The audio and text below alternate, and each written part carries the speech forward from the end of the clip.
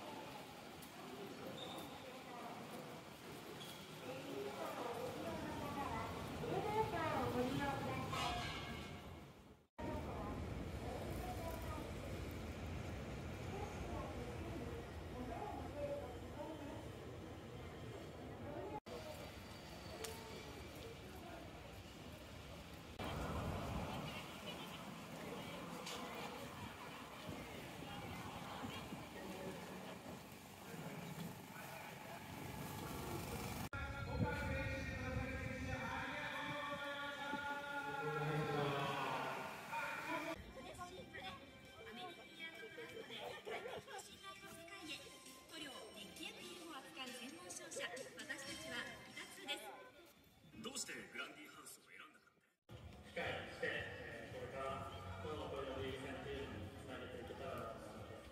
これからも健康